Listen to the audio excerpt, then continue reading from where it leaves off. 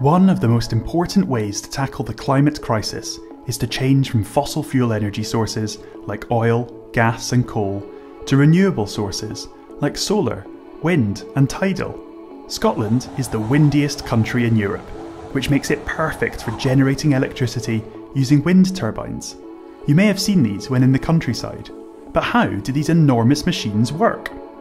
Well, they rely on a simple principle Instead of using electricity to make wind, like in a fan, wind turbines use wind to make electricity. As the wind passes the propeller like blades of a turbine, it causes them to rotate. This rotation then spins a generator, which converts the movement energy, known as kinetic energy, to electrical energy. This electrical energy can then be fed into the national grid and may eventually make its way to your house. Have a go at making your own wind turbine by clicking on the link in the description.